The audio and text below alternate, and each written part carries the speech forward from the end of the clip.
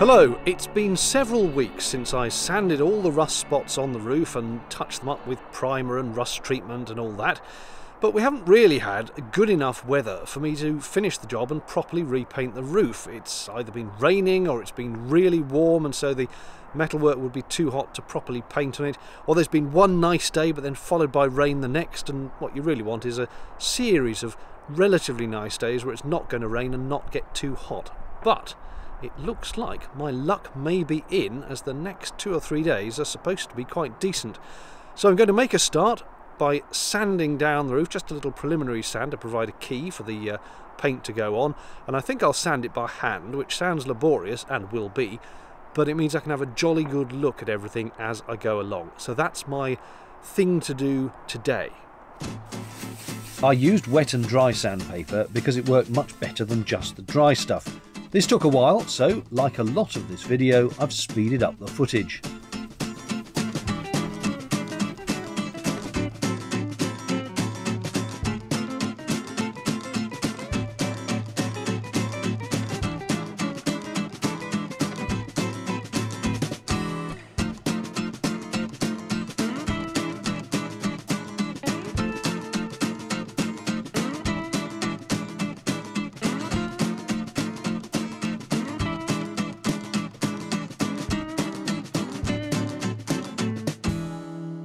Well, that is a good job done. The whole roof sanded and only a mild amount of blood on my fingers. I've noticed a couple of tiny little rust spots that I must have missed before, so I'll just sand those and prime them, and then hopefully all is set for painting tomorrow.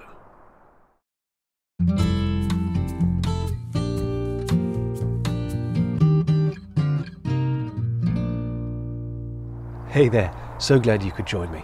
We're going to have a lot of fun painting a happy little boat roof today. And if you want to join in, I'll have them run all the colours I'm going to use along the bottom of the screen. And they'll appear in exactly the same order I have them here in my palette. Now I've already gone over the whole canvas with a coat of liquid transparent, otherwise known as water. So let's take our 4 inch brush and go have some fun. You know, sometimes I think I'm amusing myself rather too much in these videos. Anyway, without a hint of phthalo blue or cadmium yellow to be seen, let alone any odourless thinners, I opened up my tin of paint. Per the instructions, and because I could see it had separated in the tin, this was given a thorough stir, using, of course, a screwdriver. Then, in my tray, lined with foil so as not to have to wash it out afterwards, I decanted a decent load of the paint. For each section of the roof, I wiped it over once more to remove any final remnants of dust and dirt, then began applying the paint. It can be brushed or rollered on, but I read that if brushed you need to stipple it to get the non-slip texture, while the roller does that just by being a roller.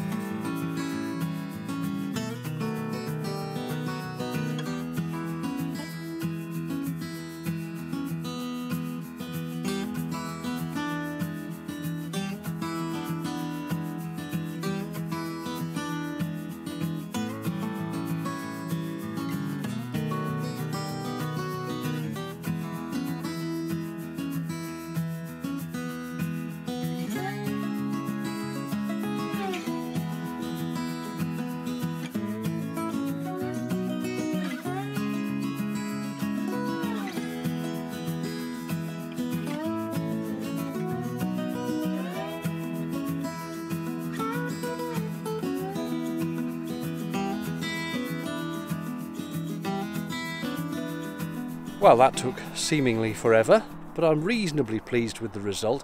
I never was that good at colouring in between the lines, so inevitably, even though I masked things off, I managed to merrily roll roller straight over the masking tape and onto the uh, darker blue paint, but I'll tidy that up. Either way, I do think the roof is looking a lot better. It does need a second coat. They say to put it on quite thinly and do two coats, and for that it needs to now wait 24 hours. The weather forecast for tomorrow is also, much like today, very little chance of rain apparently, warm but overcast, so not bad painting weather. So I'm hopeful. Good morning. Day three of the great painting exercise, and to be honest, I'm a little frustrated.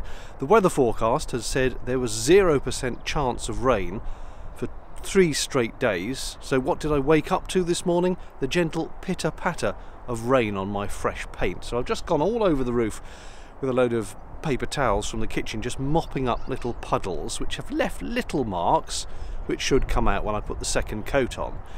What's worse is that I was reading the data sheet for the paint and it says you must overcoat before it goes fully solid, but you mustn't walk on it until it's fully solid. So I somehow need to put the second coat on by levitating myself over the paint, rigging up some sort of harness like Tom Cruise in the first Mission Impossible film or something. This is the stuff they don't advise you of in the data sheets, that you need a jetpack so that you can apply coat 2 without actually standing on coat 1. I don't know what I'm going to do about that yet. Okay, I exaggerate slightly. The boat being only 7 feet wide means I could stand at the side and paint from there, but I found this didn't quite result in the same look to the paint as when I did it from on the roof. It also meant I had to stand on the gunnels on the far side as there's no pontoon there, so I was perpetually in fear of stepping back to admire my handiwork and falling in. I didn't though, and I'm pleased to say the second coat went on perfectly well.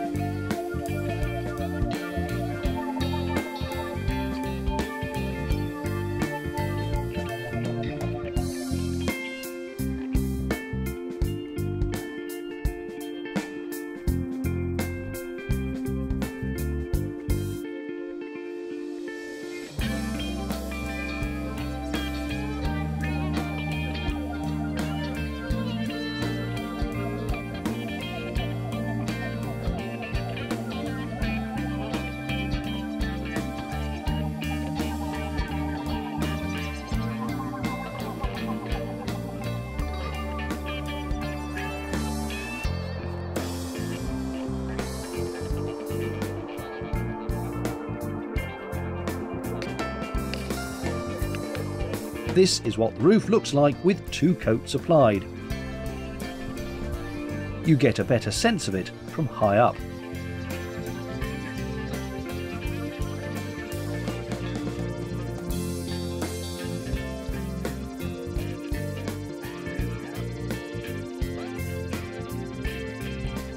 Now for the really fun bit.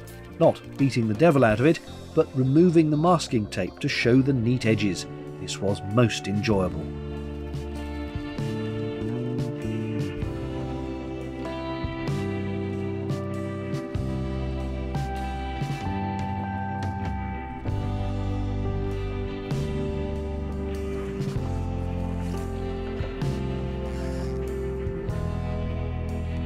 I am quite pleased with that. It's very bright, very light, but it's a very matte finish. It doesn't glare when the sun is out and it is very non-slip as well and certainly looks a whole lot better than the old roof did with the various spots of touch-up that I'd done on it. There is only one small problem.